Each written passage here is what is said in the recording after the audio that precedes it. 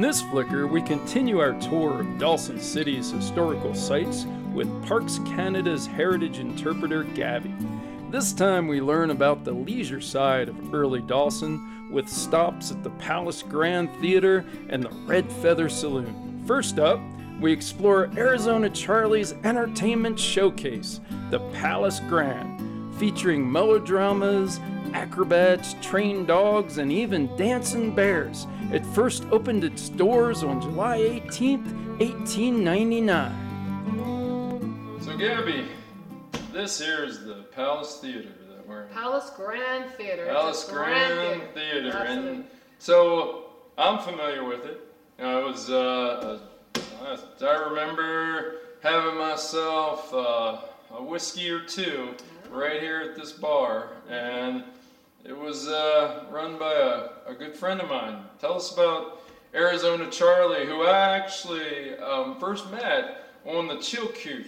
Uh, coming up in '97, he came up in '97 Yes, with me he as did. well. He came up in 97, staked some lucrative claims, and made it rich. One of the few who did. He was quite a fellow, old uh, he Arizona was Charlie. sharpshooter. He was larger than life. He was an entertainer. So on the trail there, when we uh, uh, first uh, met, you know, exchanging some stories about our, our desert home. But um, so maybe tell us a little bit about when the Palace Theater opened and, and what it was all about. Well, he took three months to build this theater. It was uh, in 1899, and in July it opened up. Opening night was about 800 people who showed up. 50 cents got you a cigar and a free show. Right. People would gamble and drink here, and then they'd troop down and watch the show, and it was quite a hit. It was very exciting. Yeah, but uh, some of those shows uh, just uh, had a lot of uh, a lot of a lot of ladies dancing in those shows. weren't There were ladies dancing, but there was also boxing matches, there were plays, there was vaudeville. In fact, there was even a gentleman who hung himself every night, and he was very popular. Yeah, I remember that. What? Long Neck Louie. Long Neck Louie, Yeah. and and uh, he he had something uh, rigged up He had that something uh, right, saved yeah. himself from uh, from really getting a hanging. Uh, People loved Long Neck Louie. Long Neck Louie. I'd forgotten about Long Neck Louie. My goodness, whatever became? Well, you, I, I asked you like you're from my time. I wonder, wonder whatever became of Long Neck Louie. So, I don't So know. um, now, and don't think uh, you're gonna, you're gonna upset me, but uh, how long did the Palace Grand run? Um, I, I kind of. Ran from for about one year. Yeah. Uh, the gold rush was over. People moved on. Charlie sold it in 1901, and it became a Shakespearean theater at that time. And then a Dawson's first movie theater in 1917. 1917. Yeah, and then it shut down in the so that's 1940s. beyond my. I was already. That's way beyond. So they they started showing these They flicker did- shows. They did silent at first, and then talkies later. My goodness, wow, that's and how long did that last? Uh, that was several years, and then it became a dance hall again, and then it shut down in the 1940s. Uh, uh, and I'm then telling you the future.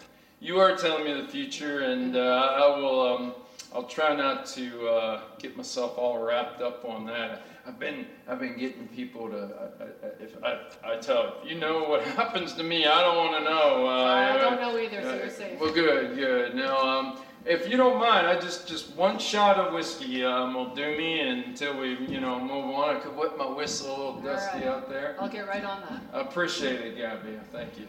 This 1962 reconstruction of the original 1899 Queen Anne Revival Theater is a classified federal heritage building. So, Gaby, uh, tell me about um, Charlie's uh, vision here for the Palace Grand. Well, Charlie was a showman and he wanted elegance as well as practicality. And he had traveled the world and he loved the Parisian opera houses. So he modeled the suspended balconies here after that, the lace curtains, just to give that elegance to the theater. But the wood, of course, and the, the heated stoves, that's all very Klondike. So he married the two architectures together.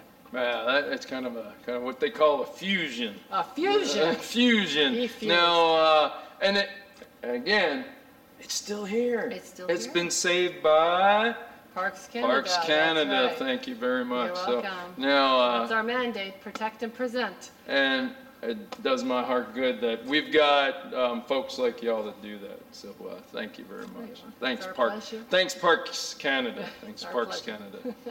The original Palace Grand Theater fell into disrepair during the 40s and 50s.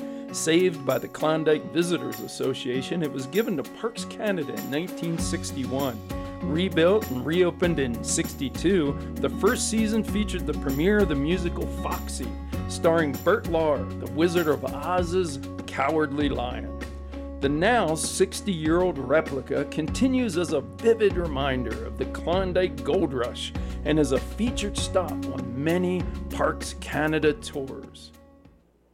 I was always uh, taken, of course, by um, by the ladies that, uh, that put on the shows here, and and as I've said before, the um, many of the ladies, well, I would say almost every one of the ladies that was able to get themselves up here to the Klondike were uh, were ladies of, uh, of, of no simple means. These were ladies that. Um, were, were strong and, and strong-willed, weren't they, in most cases? Absolutely, yeah. Tell us about the ladies working here at the Palace Grand. Well, here at the Palace Grand, you had ladies who would dance with gentlemen uh, for a dollar a dance, and they got a percentage. Now, they would dress just like me. It was a legitimate job, and it was every night from midnight till 8 in the morning, sometimes 160 dances.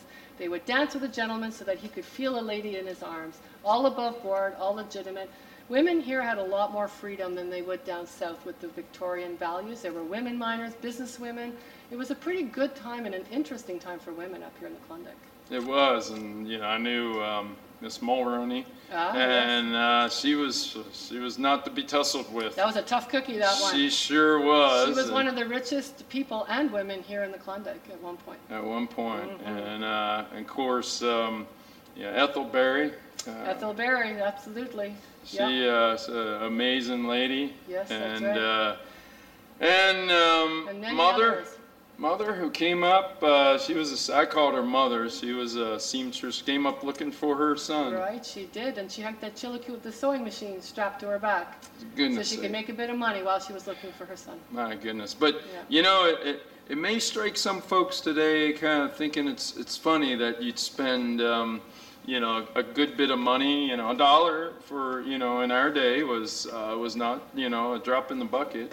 And that you just spend that on a, on a dance with a lady, but um, that would take you, and I, I, did that uh, uh, many, many a time, and it would, it would almost take you to another place because everything was kind of rough and, and dirty and, and, and, and smelly. And Um, families were left behind, you were lonely, people worked really hard on That's right, things, and, yeah. and some of us, all, all we wanted was that dance, that's all, that was, uh, some fellas, you know, but some fellas, that was enough. Uh, gotta keep it G, don't we?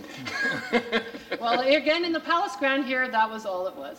Yeah, yeah, and that's, uh, what a, what a fine place. Uh, Well, Gaby, for me, and for many people here, well, just coming into Dawson City, um, when things were uh, getting built and getting big, um, and at one point, um, they tell me, um, we were just here, we were just living and trying to make ends meet, but at one point, Dawson City was uh, the, the second big, biggest city on the west coast, is that Oh, right? west of San, Fran- uh, west of Winnipeg and north of San Francisco, it was the largest city, actually. It, Yeah. it was A uh, lot, and of- lot of people. a lot of people, and I just um, it's hard to it's hard to reckon, you know, thinking back on that, but it's so it's still so nice, and I gotta say that um, there's still so many remnants of it, like the Palace Theater here, That's right. but it's just a bit calmer and it just has a has an easier feel to it and uh, and I say that because you know folks should get here should get up here to you know get on up here get up to um, Dawson City up to the Yukon I keep telling. Located at the corner of 3rd Avenue and Princess Street, the Red Feather Saloon is a fine reminder of the many Gold Rush era drinking establishments. A vital respite from small, airless cabins and a necessary gathering place, saloons played an important role in early Dawson. Welcome to the Red Feather Saloon. Well, this looks familiar I can tell you that much and uh, I appreciate you lining them up for me ma'am. Uh, Welcome. Unfortunately, we ran, out yesterday. I couldn't- all came out of there was a, I don't know what in the world that See was. how old that is. it would seem so. Well, uh, I figure this ain't a place where you. This is more of a a, a preservation uh, uh, house. This is not a preservation saloon where you can show people how it was. Exactly. This is modeled to 1904, uh, when men were going in and out of the gold fields and they had a place to come, not just to drink, but also to socialize. It was really important to spend time with people you're lonely out there and hard working hard. So That's right. That's these, these saloons fulfilled that function as well. They, they sure did, and, and this would have been the place where uh, if you if you found a bit of gold out there, you uh, come in here and you'd uh, tell the other uh, fellas about it. That was the code. Maybe was- buy a round or two, maybe play some poker in the private booth here. That's you know, right, you might that's- celebrate, you might cry, you never know. That's right. That's right. And uh, you know, I you never knew. Maybe there was more gold out there, fellas. Drink up. I've uh, found me a nugget. I'll tell you where it is right, and right. Bob. that is. That was the code. You had to tell everybody you found gold That's right. uh, so that they can also have a chance. That's right, and uh, sometimes they also strike it rich out there. Sometimes there was it was all t- uh, taken, and in many ways, uh, most was taken by the time those folks got here. By 98, it was pretty much taken, absolutely. Uh, so a lot of people milled about, maybe started business, maybe waited for the next gold rush, rush which was 99 in Nome, Alaska. Yep, yep. People Oh, moved on. I remember that. Yeah, um, yeah. I tried my. I went over to Nome, Did but you? Uh, Yeah. Uh, I missed Dawson, so I came back. I missed the Yukon and uh, came back here. This is this has become my home. Uh, tell us about the Red Feather. So the Red Feather was again a place where you could come to socialize. It was uh, built in 1901, was open till 1915. Uh, so for that time period, this looks very fancy to us, but this was a working man's bar, and people were able to come and hang out. Wait, are, are you telling me, Miss Gaby, that uh, when I make it back to my time, I ain't, yeah, ain't got but three years left to enjoy the Red Feather? 1915? You better put- drink up now. drink up. Uh, better drink up. I'll pretend that I'm drinking up. In 1973, Parks Canada, utilizing their expert historic restoration skills, revitalized a structure that had saw time as a garage and a storage shed since its closure as a working saloon in 1915. And how many people you get here? How many people do you think you get here in a summer? Well, it tends to vary. Uh, I believe there are times when we have at least 60,000. It just depends on the year, it depends what's going on. In the fall, they'll compile all those statistics, and they're different every year, but we sure get a lot. And not many are dressed like you or me, are they?